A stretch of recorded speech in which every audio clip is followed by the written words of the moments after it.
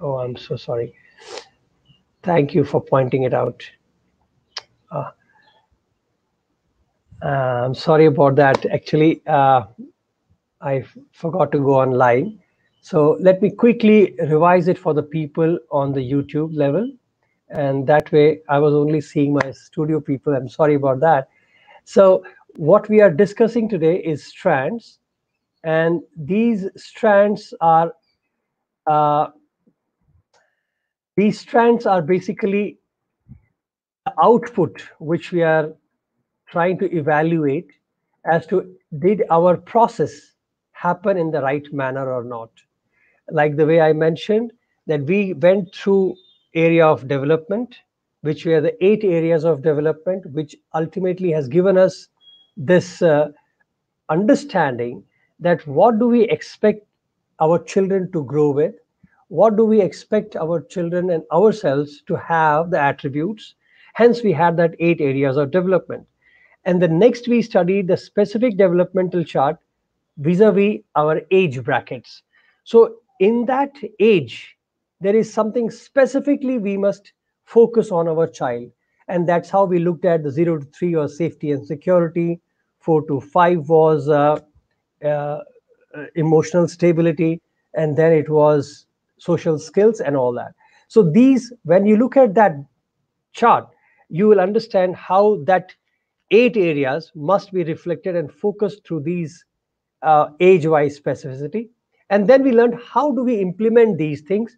And for that, we shared what we call as five teaching methodologies. And those teaching methodologies can be used by every adult, not only necessarily in, in the schools or in educational institutions.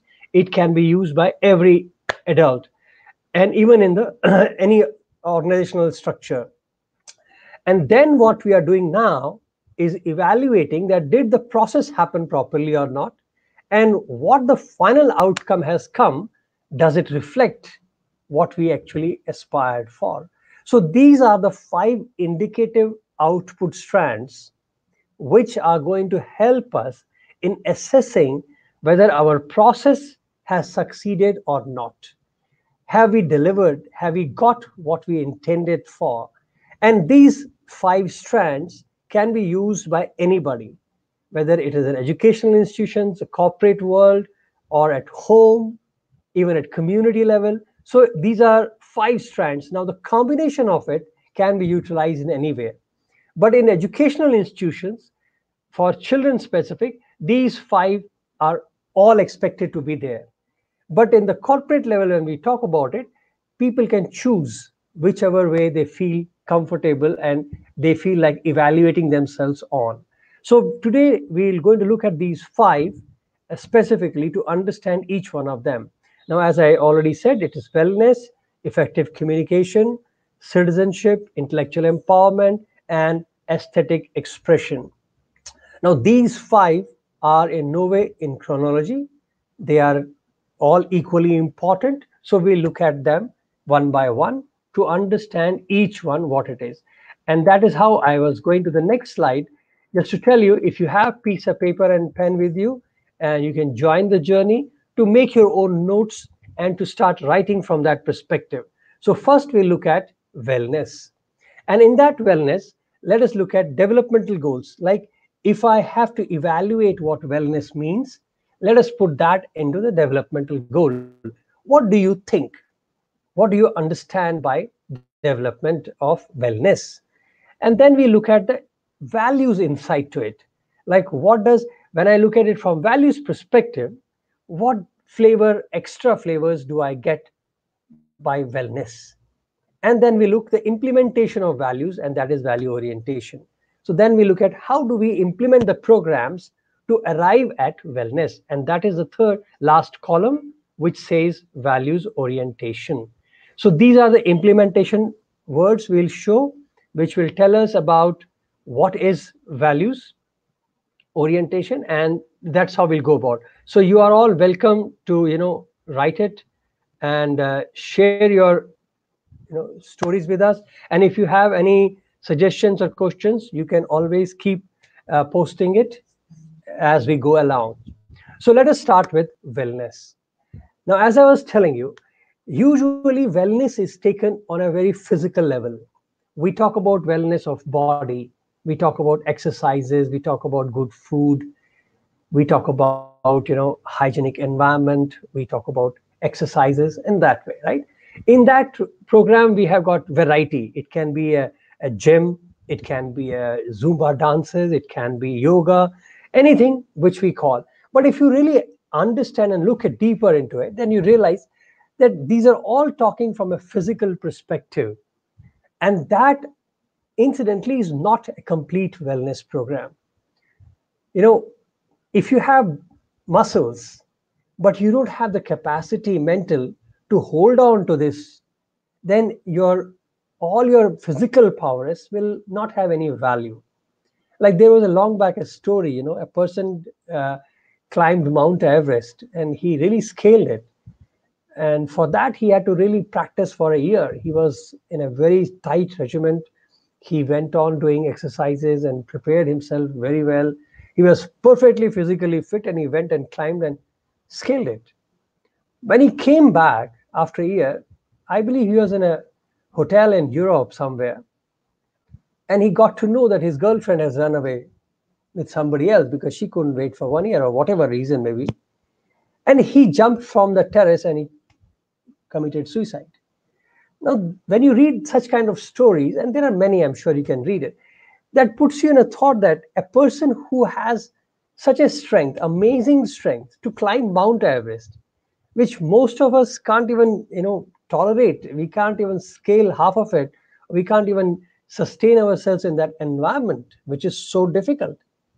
What happens that he got so emotionally weak that he committed a biggest crime of suicide just because somebody betrayed him. So if you really understand, can I call him well? Can I say he was well because he was physically so fit? Unfortunately, not. So what is wellness? If I look at it in a deeper sense, in a proper way, I realize that wellness of physical body is not possible unless and until I have the wellness of mind. So, wellness of mind is more critical to develop and to deliver the wellness of physical being. So, that is what is wellness. So, let us look at it now how wellness has been described so you can get an idea about it. Okay. Now, from the developmental goal perspective, it says physical health and development, and emotional well being, and protection and safety of all. So, when I say well, that means I am able to do all of this. Correct? Now, from a values perspective, when you look at it, how do I call a person well? I look at a personality which has a high self esteem and it is grounded with moral strength, which is self confidence and is ready to serve and sacrifice. So that is wellness. So only when I am I have this personality traits, then I can say I'm holistically well. Otherwise, I'm physically fit. But am I well? Have I achieved the high standards of wellness? And what do I do to achieve them? These are value orientation. Now, people always question these things that, hey, these are good to know, but how do you practice them? Now, for that, I have this last column. Now, these are the words which we help people to understand and practice them in day to day life. So, in the schools, we have various programs which inculcate these attributes to them. In the organization, also, we have. Now, I had been to Panama, and uh, one of the clients we had was, you know, Panama Canal. And they were very fascinated by their vision and mission format. And they understood the importance, as a management, they understood the importance of vision statements and they understood the importance of value statements. And if you go to the Panama Canal uh, organizational site, everywhere, including their main office, head office, and uh, your kitchens, your toilets, your everywhere, they have these words which are specific to them, what they believe, is pasted all over. Because they understood the importance of vision of importance of value statements. Now, that is how you have to drill into everybody day in and day out, day in and day out, so that that whole thing starts becoming part of your personality, part of your you know growth, and that is how we achieve a standard of wellness in the whole organization. Imagine everybody starts behaving in a disciplined manner. They practice cleanliness, okay, and then we teach them a little bit of service activities little bit of sharing, and they get a flavor of sacrifice. And they are allowed to take initiative, become innovative, try new experiments, give them the opportunity to make mistake, and you develop courage. And then you learn how to respect each other by you know by collaborating, cooperating, and working together. And they realize that nobody can individually work, so you have independence, dependability with each other even at one time you are working independently but you realize that my independent work is also not possible without the help of others so even if I, I, work like a writer's job suppose i'm writing a book and i think that hey book writing is an individual task i don't need anybody it is highly mistaken notion because what can you write if you are not exposed to the nature the surroundings the world around you so you take the content from the world, so you're dependent on them. Then when you write it, you need somebody to read it. And before reading, you need somebody to print it, somebody to publicize it. So even a activity like writing, which you feel it's mine, I need nobody, that is itself dependent on everybody. So there is interdependency everywhere.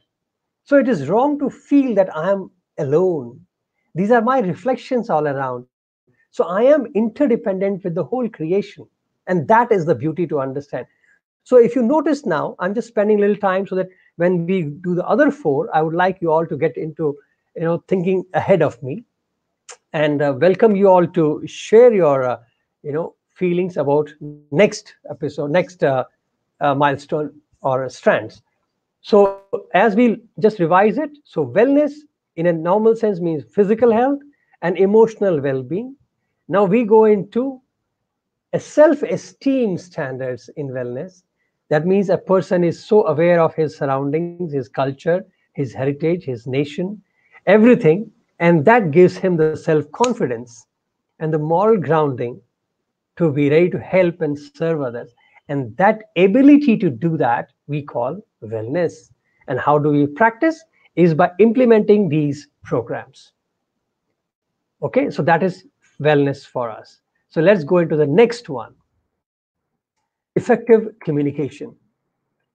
Now, usually I'm used to having a uh, workshop scenario, so I would have asked you many questions, but I'll pause for a second to give you a thought. Think, what is communication?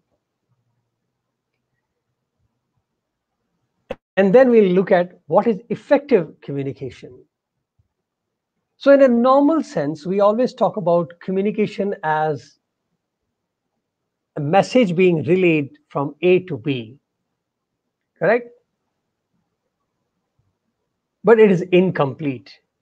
So, a message gone from A to B, and the B acknowledging that message that I have received it to A, and A confirming it, yes, you have received the same message, is communication it is not effective communication. People interpret that as an effective. I said, no, because that is communication. If the communication has not happened, forget effectiveness. So if that has this process is not gone, that message leaving from A to B, B confirming that yes, I understood, and A acknowledging that yes, what you have understood is that what I conveyed, that cycle makes it communication Otherwise, there is a breakdown of communication. So then what is effective communication? Then the next jump. How do I call a communication as an effective communication?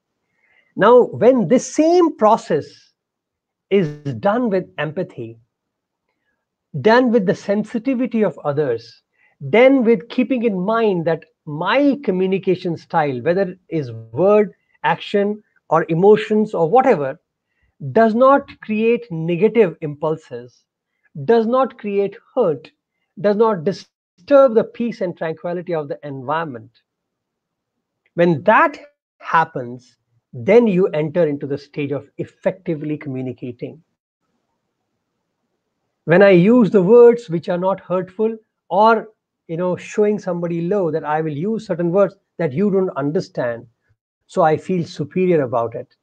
See, all these complexes create an impulse of understanding that hey, you are wrong, and that is what I call it is communication true because you conveyed, they understood, and they conveyed and you accepted that yeah you have understood now where i stand and what i, I am speaking. But effective communication is not that. So when i call it effective communication it goes a step higher wherein now i have feeling that i have understood what the other person is at what level they are and then i use my words or my expressions or my gestures to convey the message in a manner which is soft, elegant, respectful, and which is not hurtful, and the other person enjoys it. So when this process happens, then we call it effective communication. Now, again, we can train people in understanding, evaluating themselves, and finding out whether the usage of my words is effective or not. Sometimes you can find people can communicate even without uttering single word. Just by look, they can communicate. Nothing is required. People can be sitting far off places, you know, in different countries, and you can connect. That is effective communication. So how do I achieve that? So let us look at now what does our research tells us about it. So effective communication is listen with understanding, converse effectively, and emerge reading abilities and communicating their thoughts and ideas. So this is a normal understanding of what is effective communication. Listen with understanding. That means you have to understand, not to respond. Don't listen to respond, but listen to understand. And converse effectively. And that happens when you do a habit of reading and communicating your thoughts and ideas and all that, right? Now, values perspective, patience in listening. So now first thing is you must have the patience to listen. Do not presume. A person starts speaking and you presume you have understood him. So patience in listening. Exhibit empathy for others. Practicing unity of thought, word, and deed. That means whatever I believe, I speak. And whatever I speak, I act. So imagine if there is a unity of these things, then only my communication is has conviction. Then only what I speak, people should believe. People will have following you because now they understand that the only words they don't follow. They understand the impact behind the words. They also impact. They understand the uh, what should I say? They understand the emotions and the conviction behind your words. So that is the beauty of practicing unity of thought word and deed. Of course soft and comforting speech and precision in thinking and communication. So like you want to say one word don't use a full sentence to convey it. You want to say something how can we precisely make it like that? So that becomes your precision. And how do you practice it? Empathy sympathy creativity curiosity, honesty. These are the words which we tend to take for implementation programs. And that is how we can help develop effective communication. Let's look at the third one, intellectual empowerment. Now, what is empowerment? If you if you really look at it from that perspective to understand, we always talk about it that we should empower our children, we should empower our employees, and empowerment is good. Yes, I I also agree, and uh, I don't think anybody can debate on the importance of empowerment. But what is important is to understand what is empowerment. Is empowerment giving an authority for a, of somebody to decide? Is it a freedom to do what they want to do? Is that empowerment? So when you say that I have empowered my child or my employees or anybody to do as they feel right, which has a premise, which has an understanding that you have already conveyed what is expected. You have the faith and the belief that your people, your children, or your employees, or anybody has the right amount of knowledge, right skill sets to execute, to understand. Only then you can say, yes, go ahead and decide, make a choice.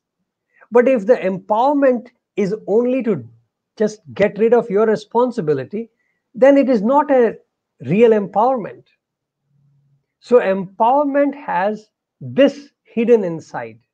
So, when you say, I want to empower my child, that means you have certain steps behind it and that is that you have to first provide your children or your employees or anybody with enough knowledge skills and necessarily interpersonal skills to deliver and to execute.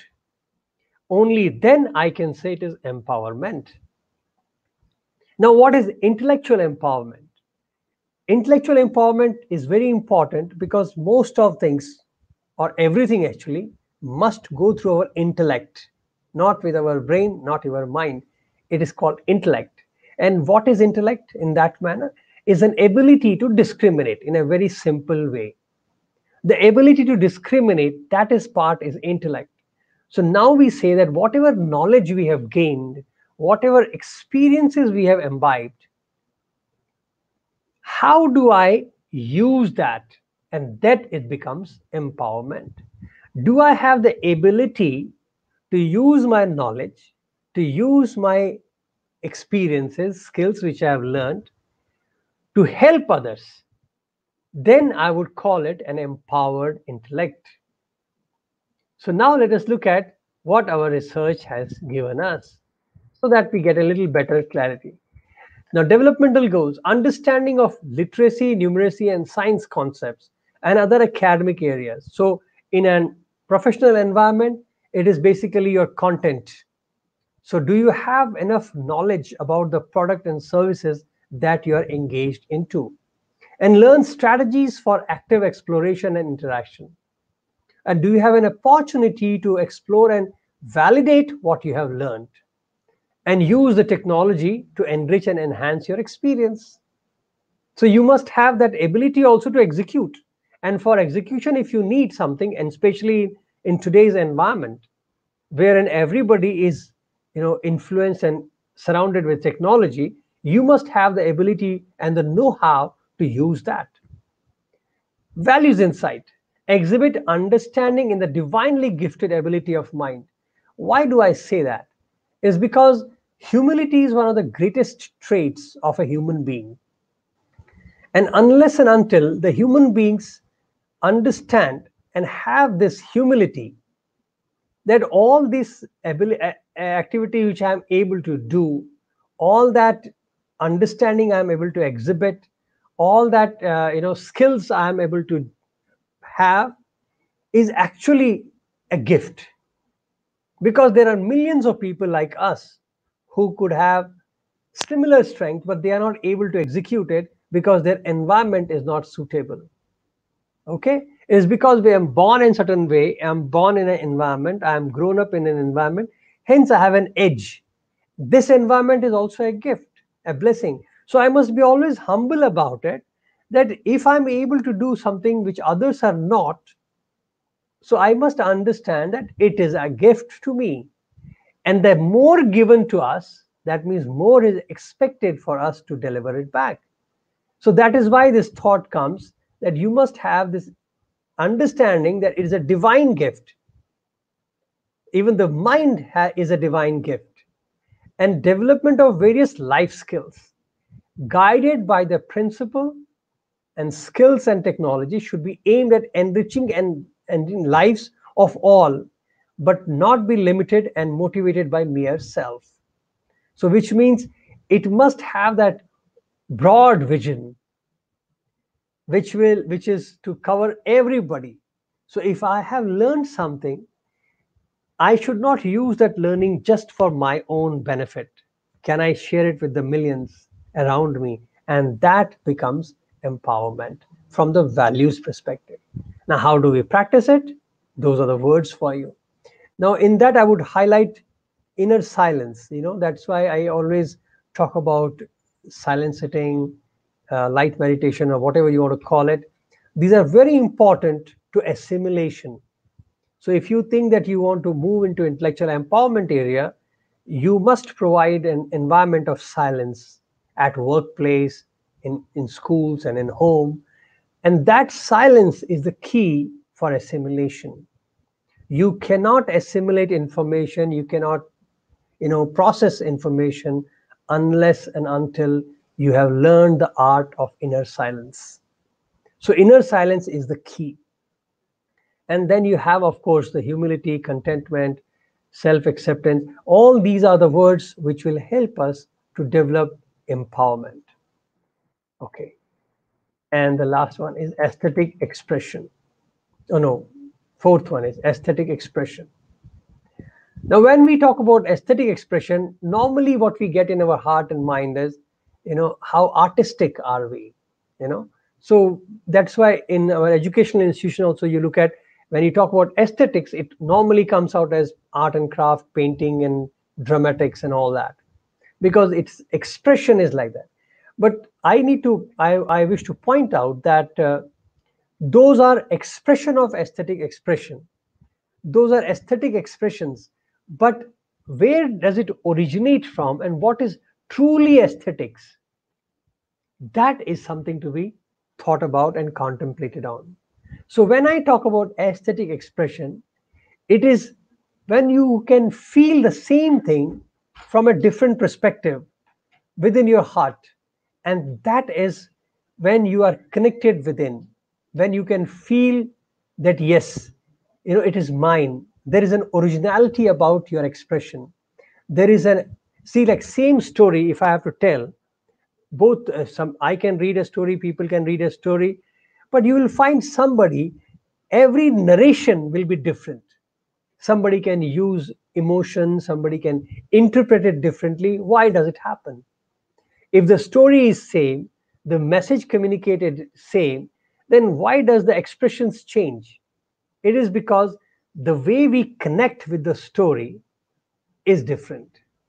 And anybody who connects it differently within will express it differently.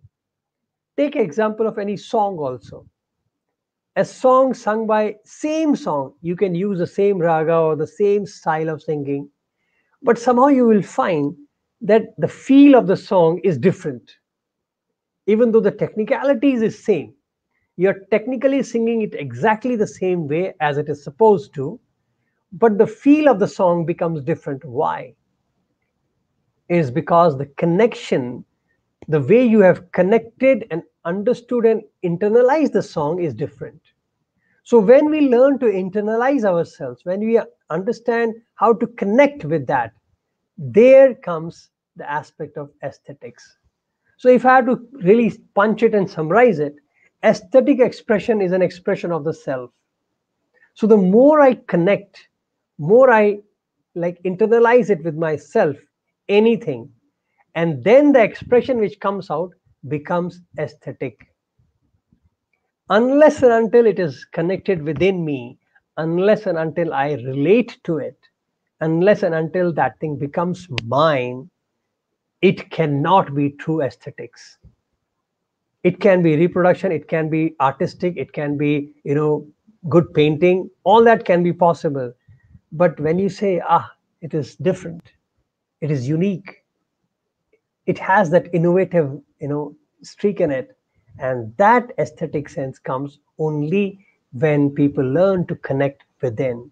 So let us look at it now. What does our research say? Discover and explore their creative talents through the visual arts, talents in music and dance, uh, creative talents using drama. So this is how the developmental goals are defined for aesthetics. Values insight gives us a little better and a broader perspective. Who do we call aesthetically imbibed is an individual is expected to manifest an integrated personality and all-round persona and that character is expressed through the following three areas that is being subject matter expert sport and field music and art and culture. So these three areas if you really look at it even in the corporate world it makes sense. Like i i would like to highlight that even today most of the bigger companies even yahoos and all that i was given to understand that everybody is looking for in your resume extracurricular activities that you're engaged with what you do after the office hours what you do in your evenings and weekend is sometimes a very key factor to be selected or to be rejected.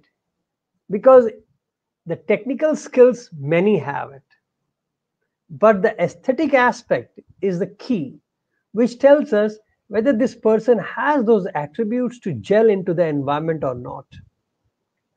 So if i have a habit of going for some social work or a service or a you know helping or charity those elements does add a flavor into the organization so all these things really matter in life.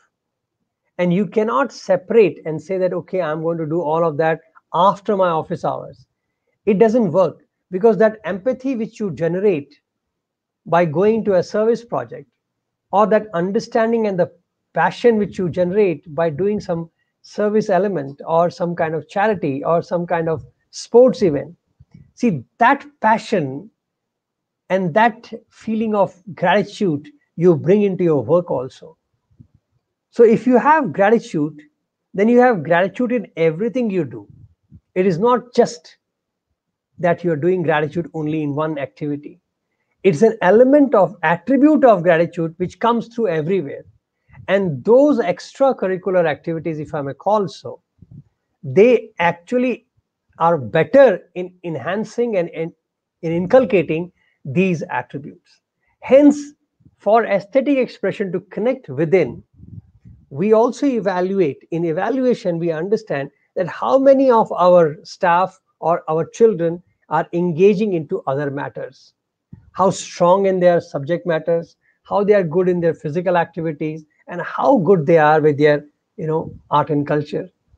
So all of that mixed together creates aesthetics. Now to help you have those following words creativity, innovation, friendship, kindness. So you can choose the words you like, or you can add more words here. That freedom is everybody. So you can look at it. What do you think you need in your in your setup, be it an organization, be it home, or be it a school or colleges? You can choose and you can take it from there. And that is your aesthetic expressions. And the last one is citizenship.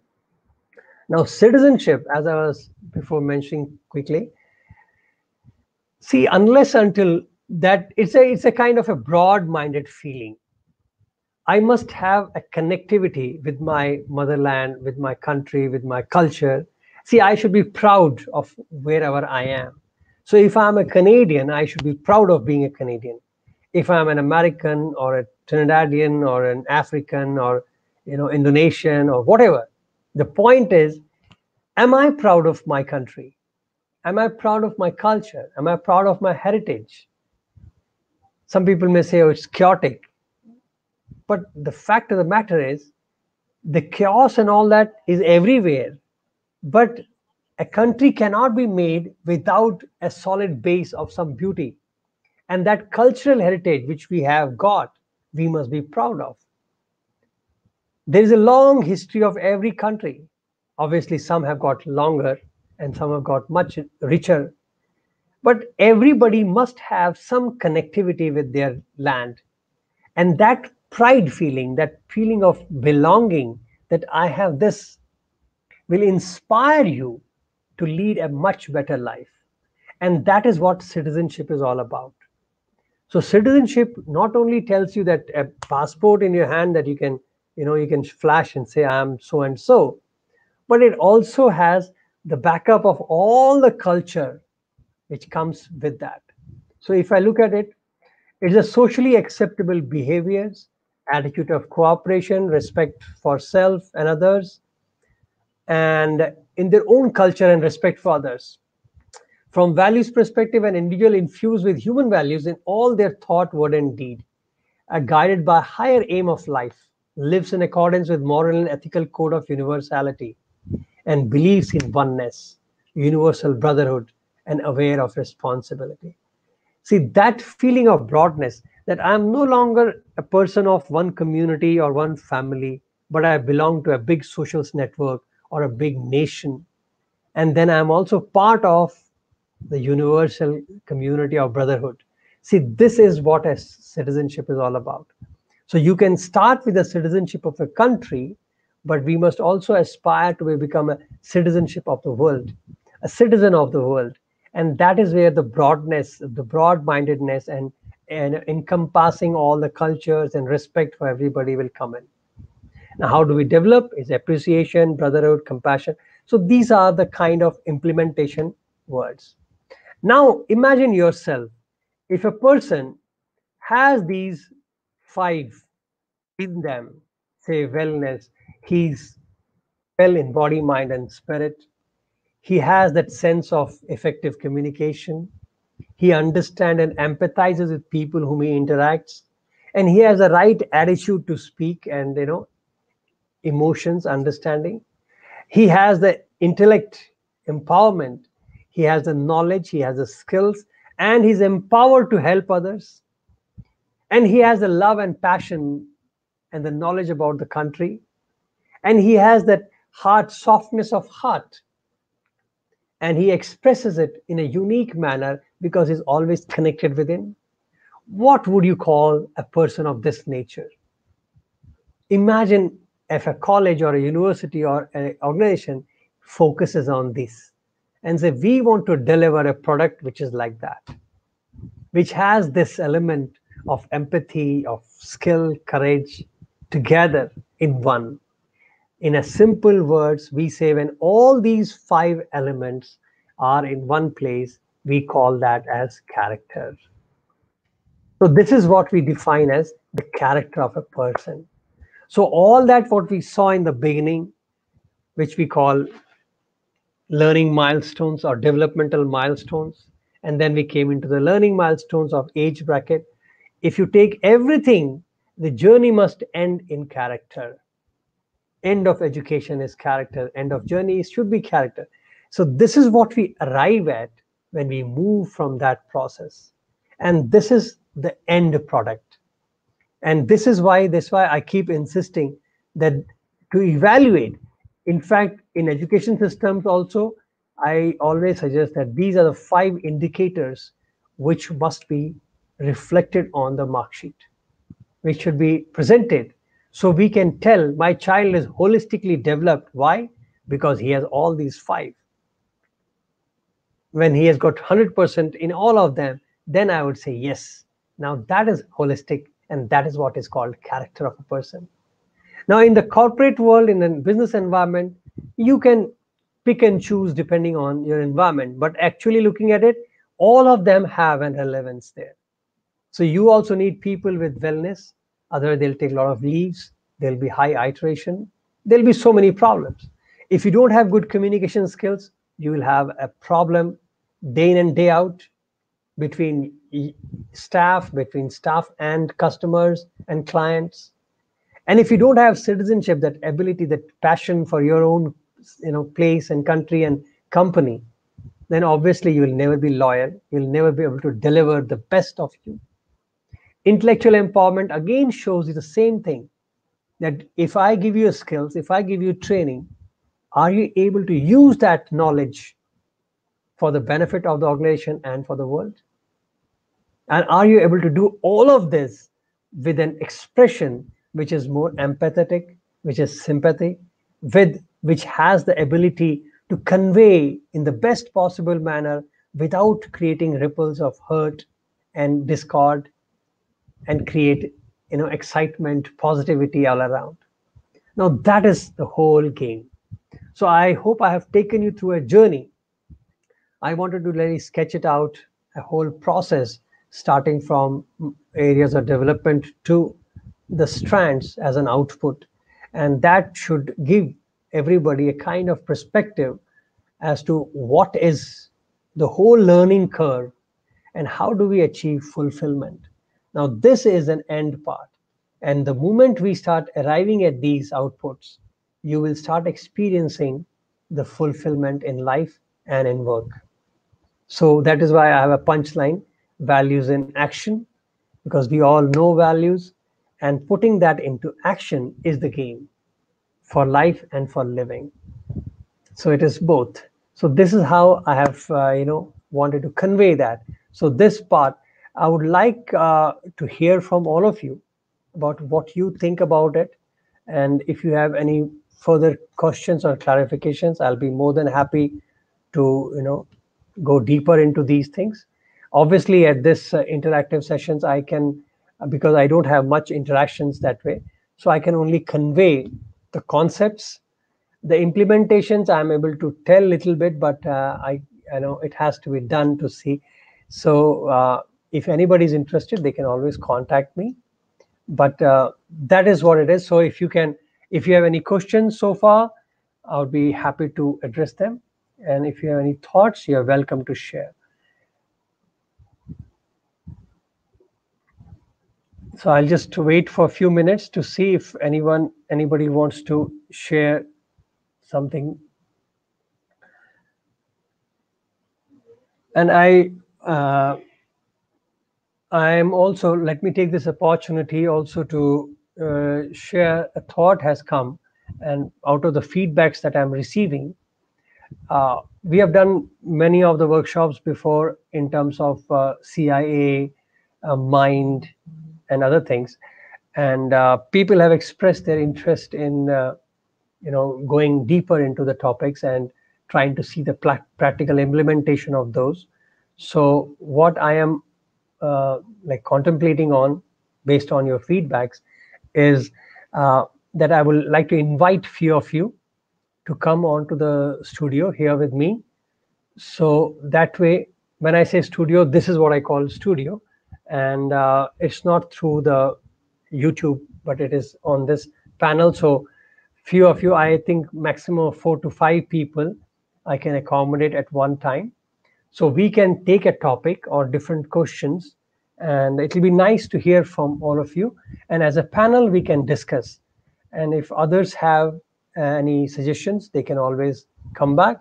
And people who are interested in joining uh, can send us a note and I will be happy to invite them. So we will start with only four to five. Um, one, because the limitation of the studio. And second, a smaller the group, we can manage better and everybody will get a chance to express properly. So that would be my next initiative. And let us see, again, based on your feedback and response, uh, we can uh, plan that and execute it accordingly. And we can choose any topic, or we can choose even the summary of all the topics we have done so far. So we can take topics and questions and then put them together. So any questions so far? Okay, there is a question from let me show. How do we know that whether we have all these qualities and if we are low in any and how should we improve them? Uh, see, that is where the strands come in. So, uh, Vibha, if you have uh, looked at our other workshop of uh, uh milestones, that would give you an mapping, an idea about connectivity. For example, if you talk about wellness, wellness is an output strand, but the, the input of that wellness comes from other, out of the eight, many are included in the wellness. For example, physical fitness is there that, you know, physic, physical is there, emotional is there as an input of uh, uh, area of development spiritual is there. So if you look at those, I'm just giving an example. Even if you take the three of them, physically fit, emotionally fit, and spiritually fit, if those three elements are done well, then you will ultimately arrive at your wellness factor. So that is how you you go and you map it out and you understand that if I am not feeling well, or if I am feeling well, how do I know? Then I can evaluate, go backwards and see have I done what is required for my physical development, my emotional development, my social development. And if I have done all of that, then I should have the symptoms of wellness. And those I've, I've already given you the words on the last end, which explains the value orientation. So if you are able to practice those and able to reflect those words, that means you got it. So if you are able to do show uh, physically well, cooperative, helping nature, then you are a you are well-being. Your well-being is taken care of. So how do I enhance it? By going back to the milestone, developmental milestone. And that developmental milestone gives you the whole program of how to enhance those qualities. And when you have done those qualities, how do you test it out is your wellness. So similarly, you can look at effective communication, and that has got inputs again from milestones again. So you have intellectual uh, intellectual development, you have emotional development, and you have social interactions. Even if you take those three, that will add to your effective communication. So like that, you can map all these eight areas of development with these five output areas, and that will tell you what goes in where and if you feel anything is missing, you go back to the developmental areas and start developing those. And you will again ultimately come back here and find it better. So, so that is how you can, you know, you can look at it from that side. So both side So that's why I said it's a it's a flow. As long as you understand the flow, you will be able to execute it very easily. So anytime you have this doubt in your head that, hey, am i do i have how do i develop citizenship then go back into the developmental areas and you will find out what programs you can implement what uh, you know what kind of skills you need and that will tell you so developmental milestones are input output evaluation is this so on the way when we do tests like you know you have midterm test and you have unit test and those tests are based on developmental milestones but the final exams is made up of five strands. So think like that. So once you have the final product and you want to test that, hey, have I got everything? Then that evaluation is your five strands. But on the journey, if you want to test that, am I, you know, my people are getting that or not, then use developmental milestones. That will give you very clearly about the steps. That will give you a clear idea about what areas to develop, how to do it, what you know subset of that also will be informed there so that is the whole concept if you take the whole journey that you'll understand. So that is how even the whole curriculum of the you know uh, internationally everywhere even the curriculum of schools and colleges are developed like that. Because they evaluate what is the end product they want and then they sketch it out the whole journey. What do i start with my children? And that in each class they go and then ultimately this is what they get and that is the thought behind even the vocational schools. See i want in vocational output i want say a plumber or an electrician. What kind of plumber and electricians i want? Now for that again the program should be created. So it can this whole philosophy is so practical and so scientific and logical that it can be implemented everywhere. And the beauty of this values orientation is that it is not then the work does not remain just as a mere work. And the work rises to a level of offering. It rises to a level of you know a dedication a contribution into the nation development. So even if i have to sweep my floor i'm not sweeping the floor. I'm contributing in the cleanliness of the environment. See it's a lofty feeling.